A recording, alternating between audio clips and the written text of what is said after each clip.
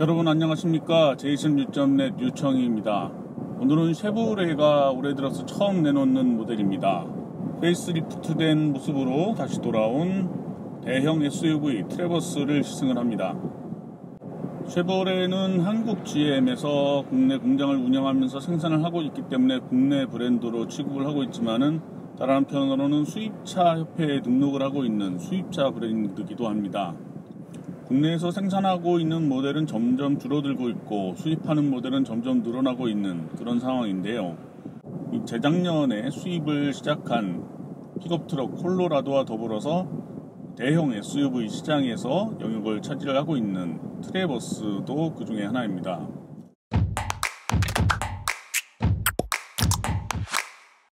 트레버스의 특징 중 하나는 3열 7인승 좌석 구성을 갖춘 SUV라는 점인데요.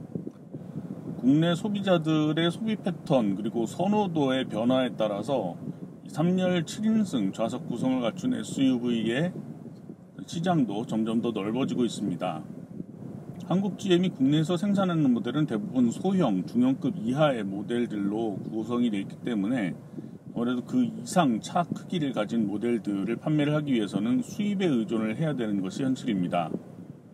물론 시장이 넓은 모델, 그리고 많이 판매되는 모델을 국내에서 생산을 해야 맞는 것이겠지만은 그러니까는 그런 부분에서는 모델 운영의 묘가 조금 떨어지는 그런 상황이죠. 어쨌든 국내에서 점점 더 확대되고 있는 시장을 노리고 트레버스를 내놓는 것은 한국 GM으로서는 불가피한 선택 중의 하나라고도 얘기를 할 수가 있겠습니다. 지난 한 3년여 동안 판매된 양을 보면은 아주 많다고 하기는 어려워도 그래도 의미 있는 판매 실적을 올리고 있는데요. 그럼에도 여러 가지 차 급이나 차 가격에 비해서 상당히 여러 부분의 편의 기능이라든가 안전 기능 이런 부분들이 좀 부족했던 측면이 있었던 것은 사실입니다. 그리고 그런 부분들이 가족용 그리고 다목적으로 차를 쓰시는 분들에게는 조금 마이너스 점수를 줄 수 있는 그런 요소로 작용을 했고요. 그래서 이번에 페이스리프트 하면서 여러 가지 기능들, 특히 어, 그동안 없었던 adaptive cruise control 같은 ADAS 기능들을 보강을 하고 여러 가지 편의 기능들을 더한 모델들을 출시를 한 것이 이번 신형 트래버스의 특징이라고 할 수가 있겠습니다. trim 구성의 변화도 주목할 만한 부분인데요. 그동안 국내에서 판매됐던 trim 중에서 가장 아래급 trim인 LT 프리미어를 없애고 최상위 trim인 하이컨트리를 새롭게 들여왔습니다. 소비자들이 선호하는 여러 편의 장비들을 골고루 갖춘 모델들이 위급 trim 쪽에 집중이 되어 있기 때문에 아래급 trim은 없애고 위급 trim을 새롭게 추가를 한 것이라고 볼 수가 있을 것 같습니다. 소비자 입장에서는 여러 가지 편의 장비들을 새롭게 손에 넣을 수 있다는 점은 뭐 장점처럼 여겨질 수도 있겠지만은 실질적으로는 어, 모델 전반의 판매 가격대가 위쪽으로 상향 조정됐다라는 그런 의미도 있기는 합니다. 어쨌든 facelift와 더불어서 기본 안전 장비들을 기본 사항에 포함시킨 것들은 긍정적인 변화라고 볼 수가 있겠고요. 외관상의 변화는 사실 크지는 않습니다. 여러 가지 변화들이 있기는 하지만은 작은 부분들 여러 가지를 손질을 했기 때문에 차가 주는 전체적인 분위기나 느낌은 거의 그대로입니다. 외부의 변화들에 비하면 실내의 변화폭은 훨씬 더 작은 편이고요. 이번에 들어온 하이컨트리 trim, 최상위 trim이죠. 여러 가지 고급스러운 꾸밈새를 더했다고는 합니다만은 실질적으로 눈에 띄는 부분에서 그렇게 두드러지는 차이점을 느끼기는 어렵습니다. 일단 대시보드에서는 공기 배출구 옆쪽으로 스웨이드 소재를 넣은 것을 볼 수가 있고요. door trim에도 부분적으로 스웨이드 소재를 사용을 하고 있습니다. 시트는 고급 천연 가죽 시트고요. 통풍 기능을 지원을 하기 위해서 시트 가운데 부분 쪽에는 천공 처리를 해놓은 것을 볼 수가 있습니다. headrest에는 하이컨트리 로고를 박음질 해놨고요. 시각적으로 약간 고급스러워 보이는 포인트를 준 것은 사실이기는 합니다만은 워낙에 전반적으로 내장재 구성이라든가 디자인 같은 부분들은 이전 모델과 큰 차이가 없고 또 다른 모델들과도 뚜렷하게 느낄 수 있는 그런 차이점이라고 얘기하기는 좀 어려울 것 같습니다. 나머지 실내 공간 구성도 이전과 큰 차이는 없습니다. 2열 좌석이 좌우 독립식으로 구성되어 있는 두 명이 앉을 수 있는 그런 공간으로 배치가 되어 있고 3열 좌석이 6대4 비율로 나누어져 볼수 있는 벤치 시트로 구성이 되어 있습니다. 그래서 1열 좌석에 2명, 2열 좌석에 2명, 3열 좌석에 3명이 앉을 수 있는 구성이고요. 이전에도 그랬습니다만 3열 좌석은 어른 3명이 나란히 앉기에는 조금 좀 폭이 좀 답답한 구성이긴 합니다.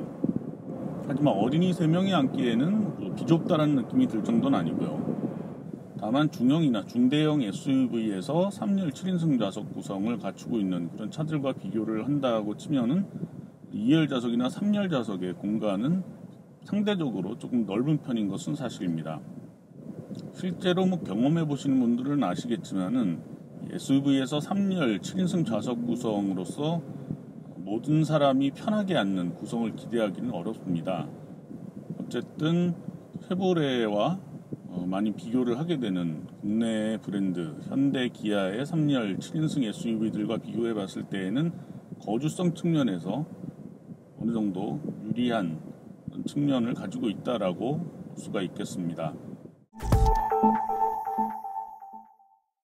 물론 공간 측면에서는 그렇지만은 실내 꾸밈새, 장비 구성, 기능들 이런 측면에서는 여전히 열세인 부분들이 있기는 합니다. 하지만은 뭐 기본적으로 필요한 것들은 골고루 갖추고 있고 아쉽지 않을 정도의 장비 구성을 갖추고 있기는 합니다.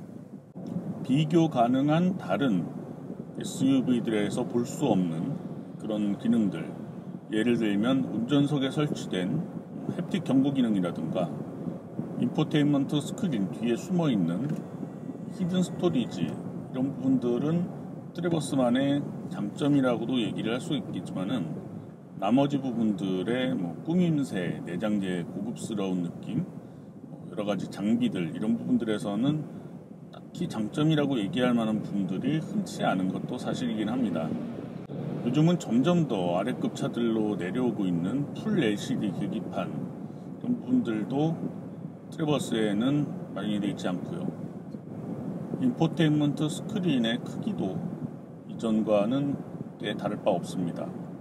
물론 무선 애플 카플레이 그리고 무선 안드로이드 오토 pairing 기능 그리고 dual 블루투스 두 대의 스마트폰을 연결을 해서 사용을 할 수 있는 그런 기능들 그리고 무선 스마트폰 충전 장치 또 3열 좌석에 모두 다 갖추고 있는 dual USB 충전 포트 이런 부분들 실제로 소비자들이 많이 쓸 수 있는 그런 기능들을 잘 갖춰 놓은 것들은 그런 부분들은 이번에 좀 더 개선된 부분이라고 할 수 있고 실질적으로 사용하면서 편리하다고 느낄 수 있는 그런 부분들이긴 합니다.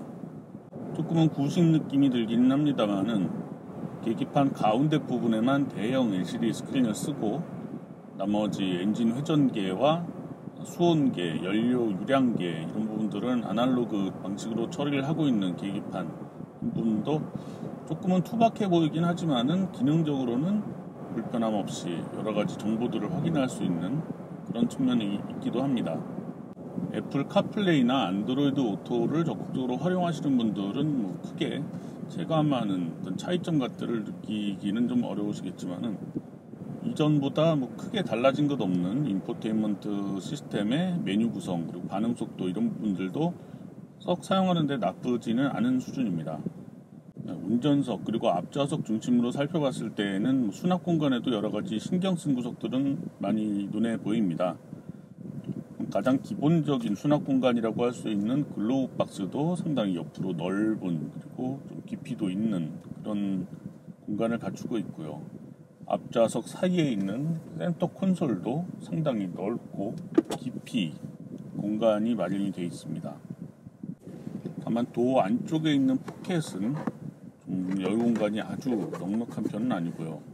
물론 음료수병을 충분히 놓을 수 있을 정도의 공간을 구획을 나눠 놓은 것은 뭐 나쁘진 않은데요. 전체적인 door pocket 수납 공간의 크기는 큰 편은 아닙니다. 부분들을 좀 보완하기 위해서 power window 스위치 앞쪽에 작은 그리고 얕은 수납 공간을 따로 마련해 놓은 부분도 있는데 이 부분은 뭐 이전과 다른 것은 아니고 크기 자체도 크지 않아서 실질적인 효과를 크게 좋게 평가하기는 좀 어려울 것 같고요. 시승하는 하이 컨트리 트림에 들어가는 듀얼 패널 썬루프 같은 경우에는 아래급 트림 모델에서는 선택사항으로 추가를 할 수가 있습니다. 그 시승차에는 달려있지만은 1열 좌석에 열선 기능과 통풍 기능, 그리고 2열 좌석에도 열선 기능이 있는데요. 지금 바로 출고할 수 있는 차에는 이 기능들이 빠져 있습니다. 물론 기능 자체는 설치되어 있지만은 반도체 수급난 때문에 작동시키는 하드웨어는 들어있지 않다라는 거죠. 그래서 이 열선 기능과 통풍 기능을 어, 뺀 상태로 출고를 하게 되면 차를 바로 받을 수가 있다고 합니다. 그리고 이, 이 옵션을 선택을 하고서 출고를 하게 되면은 나중에 그 반도체 수급이 정상화돼서 관련 부품을 공급을 받게 되면은 출고 후에 별도로 추가로 설치할 수 있는 그런 기회가 주어진다고 합니다. 다른 부분들은 일단 제쳐두고요. 시승할 수 있는 시간이 그렇게 길지 않기 때문에 운전 환경에 대한 부분들 그리고 차의 주행 특징들 특히 시내 도로 중심으로 시승을 하면서 느낀 주행 감각 이런 부분들에 대해서 좀 더 얘기를 해보겠습니다. 전반적인 하드웨어 자체는 이전과 거의 다르지 않습니다. 뭐 거의 같다고 해도 뭐 크게 틀린 말은 아닐 것 같은데요. 우선 차 덩치에 비하면 스티어링 휠의 지름은 비교적 좀 작은 것처럼 느껴집니다.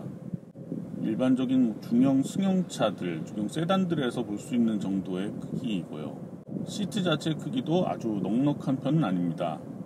시트 크기 자체도 일반적인 중형 세단에서 볼 수 있는 그 정도의 덩치라고 얘기를 할 수가 있겠고요. 시트의 쿠션, 몸을 잡아주는 느낌 이런 부분들은 조금 작은 크기에 비하면 앉아있는 느낌 자체는 썩 나쁘진 않습니다. 사이드 미러는 어, 보이는 면적이 비교적 차 덩치에 어울리게 넓은 편입니다. 특히 위아래로 넓게 보이도록 이렇게 만들어 놓은 시야 확보에 도움을 주는 면은 있습니다. 사이드 미러 크기에는 뭐 크게 불만은 없습니다. 다만 룸미러는 크기가 조금 작은 느낌이 듭니다. 테두리 부분을 조금 더 좁혀놨으면 더 좋았겠다라는 생각이 들고요. 그리고 일반 룸미러와 디스플레이 룸미러가 함께 들어있는 그런 타입이기 때문에 디스플레이 룸미러가 익숙하지 않은 분들은 조금 낯선 느낌이 드실 수도 있을 것 같습니다. 최근 들어 사용하는 모델들이 점점 늘고는 있습니다만은 아직까지 이렇게 흔한 기능은 아니고요. 화각 조절 기능 그리고 밝기 위아래 각도 조절 기능은 갖추고 있습니다. 덩치가 큰 차인 만큼 실제 거울로 비춰볼 때보다는 뒤쪽이 더 깨끗하게 보이는 그런 측면은 있고요. 스티어링 휠 사이즈가 아주 크진 않기 때문에 그 뒤쪽으로 보이는 계기판도 아주 큰 편은 아닙니다.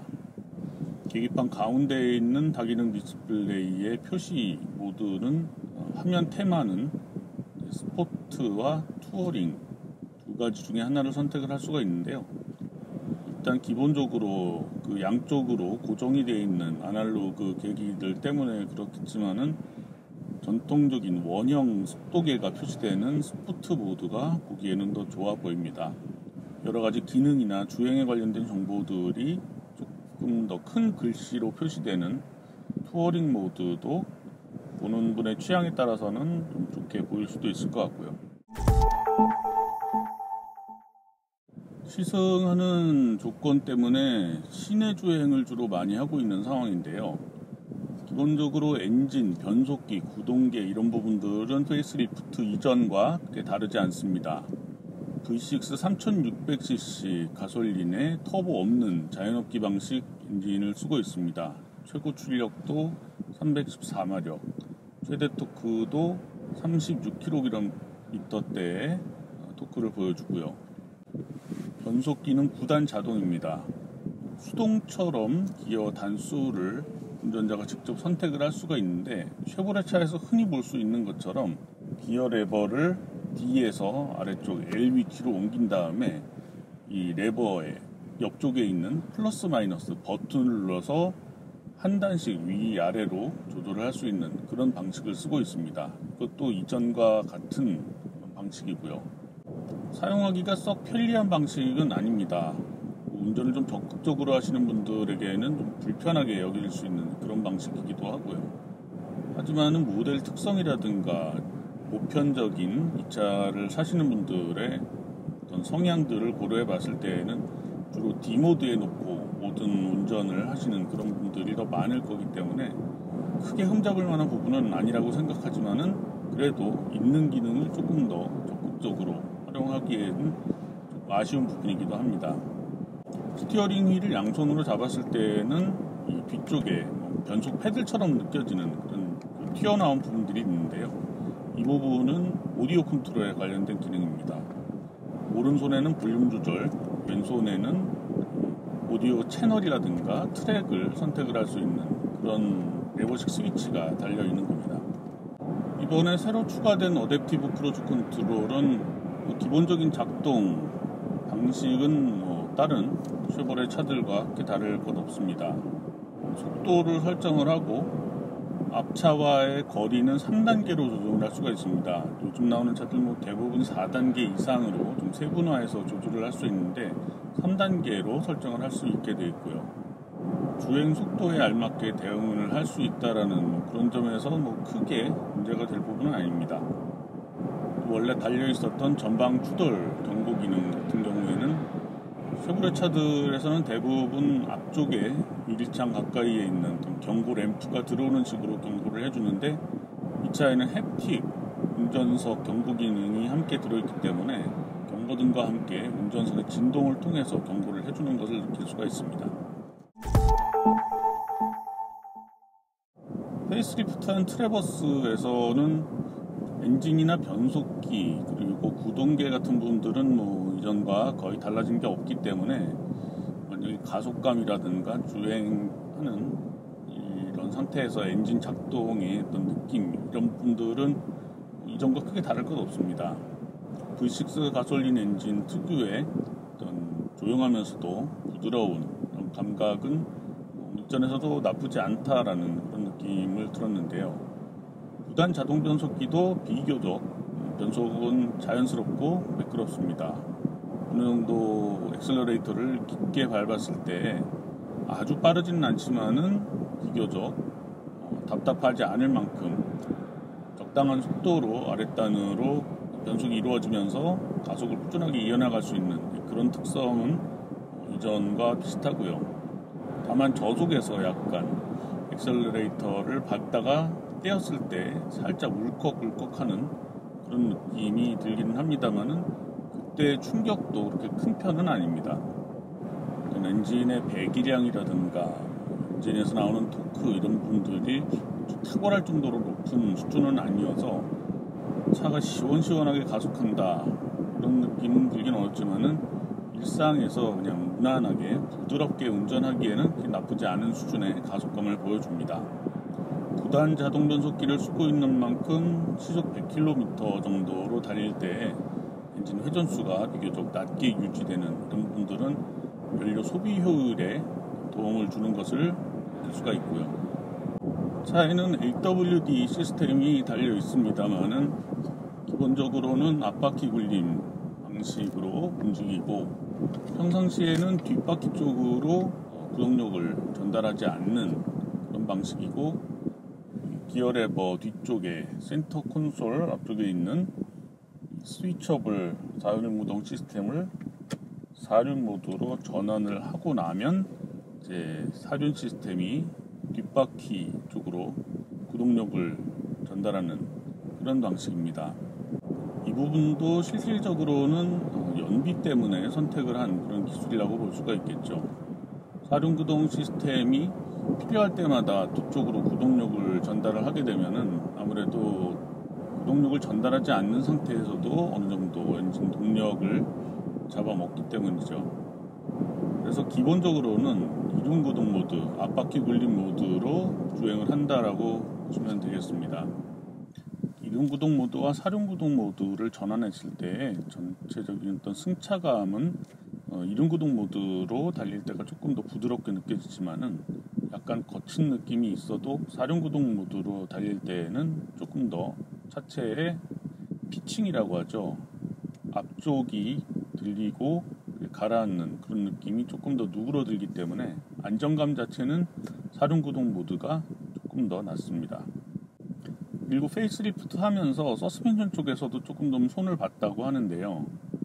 이전에 트래버스 같은 경우에는 조금 속도를 내서 자동차 전용 도로나 고속도로를 달릴 때는 약간 좀 출렁거리는 느낌이 조금 더 어, 많이 들었던 데 비해서 상대적으로 이번에 facelift한 트래버스에서는 그런 느낌이 조금 더 누그러들었습니다. 그러면 전체적으로는 부드러운 승차감 쪽에 초점을 맞추고 있고요. 약간 위아래 움직임을 좀 더 억제를 해서 안정감이 높아진 그런 느낌이 듭니다.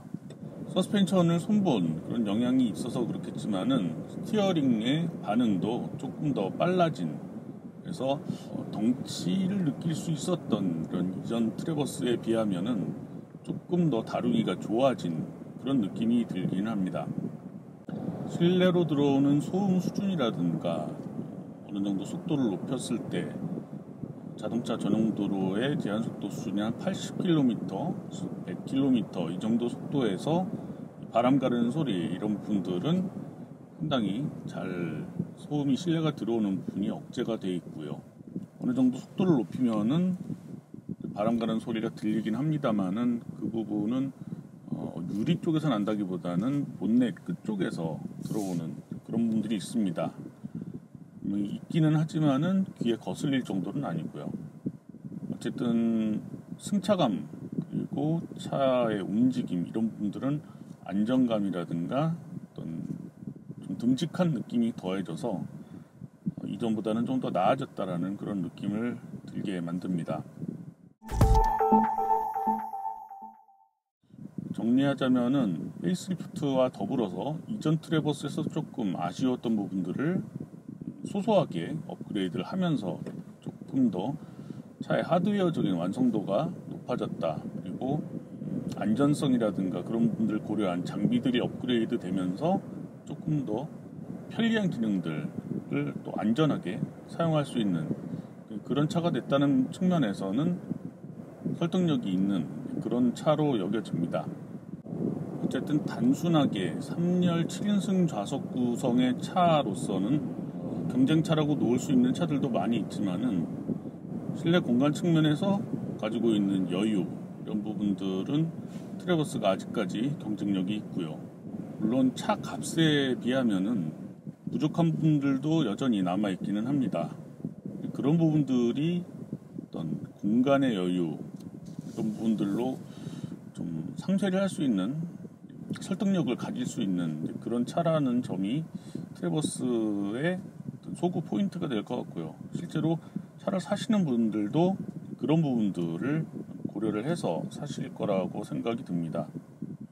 어쨌든 수입하는 모델로서 값을 아주 많이 낮추기는 어렵다라는 그런 한계가 분명히 존재를 하기 때문에 여러 가지 측면을 복합적으로 고려를 했을 때에는 트래버스는 직접적으로 국내에서 경쟁하는 차들을 이야기하기보다는 트래버스 나름의 자리를 차지를 하고 어, 소비자들을 설득하는 그런 모델로서의 의미가 있다라는 그런 측면에서는 페이스리프트 이전과 이후가 큰 차이는 없을 것 같습니다.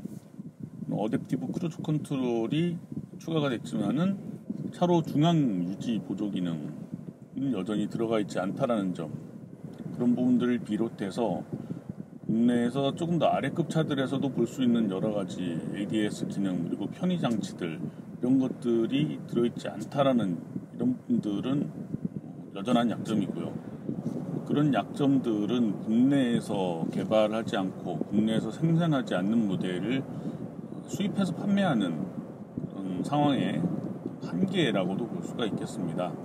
어쨌든 이 가격대, 이 정도 크기, 정도 실내 공간을 갖춘 차들을 접하기가 좀 어렵다라는 점은 여전히 트레버스만의 장점이라고 얘기할 수가 있고요. 여전히 부족한 점들은 있지만은 이 차가 가지고 있는 고유의 장점들을 가지고 소비자들과 소통하려고 하는 것이 한국 GM 쉐보레의 어떤 생각이라고 느껴집니다. 유익하셨다면 구독과 좋아요, 알림 설정 부탁드리고요. 또 공유도 함께 부탁드리겠습니다. 다음 시간에 또 여러분들과 새로운 차에 대한 이야기로 만나 뵙겠습니다. 시청해주셔서 고맙습니다. 청취해주셔서 고맙습니다. 67.2km 구간을 시승을 했고요. 평균 연비는 9.8L per 100km, 10km per 리터 전후죠. 평균 속도는 시속 43km가 나왔습니다.